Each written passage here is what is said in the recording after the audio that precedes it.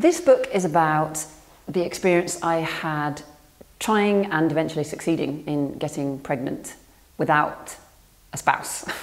um, uh, I found myself at the age of 38 sort of single um, and wanting a baby. Decades ago, I would have had a very limited number of choices available to me at that point. I would have had to either reconcile myself to not having kids, I would have had to uh, entrap someone, um, or I would have had to, as female essay writers pop up every few years in the US to tell us, um, settle for someone who I wasn't into, which seems to be something that is uh, genuinely advocated by some female writers as a potential course of action. Anyway, none of those were appealing. Luckily, in 2017, 2014, when this first came up, there's a, a further option now, which is that you can um, get fertility treatment, choose a sperm donor, and have a kid on your own.